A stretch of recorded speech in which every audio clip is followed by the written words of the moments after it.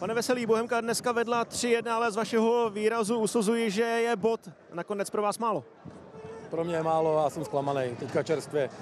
Asi před zápasem ten baník třeba papírově asi silnější tým nebo většíma ambicema, ale pokud 3-1 vedete, tak já bych ten zápas rád vyhrál.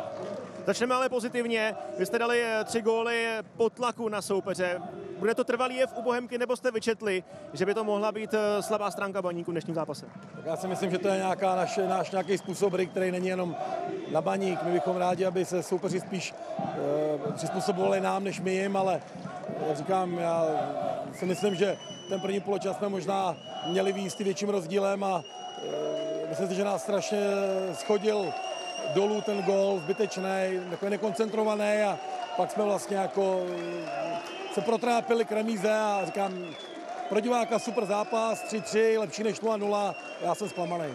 V páté minutě jste inkasovali. Trofnu si říct, že na jaře by to váš tým zlomilo. Co jste s ním udělal po psychické stránce, protože hned jste srovnali a přidávali jste další gol? Asi jsem s tím moc neudělal, když pak se zroutíme za 3-1, takže jo, ano, zvedli jsme se, ne, nepodělali jsme se z toho, ale 3-1 musí dobrý tým, který e, chce hrát vejš tabulce, uhrát a to jsme dneska nedokázali, takže máme na čem pracovat. Je možné, že máme v druhém poločase došly síly, protože v prvním jste se hodně vydali? Tak to si nemyslím, protože to by nám došli ve 40. já nevím, 9. Takže já si myslím, že to byla psychika a byl to ten gól, kdy vlastně pak jsme byli takový opatrný zbytečně a něco tam bylo, ale nebyli jsme tak aktivní a hráli jsme zbytečně opatrně, možná jsme se báli o ten výsledek a pak jsme o něj za to byli strestaní.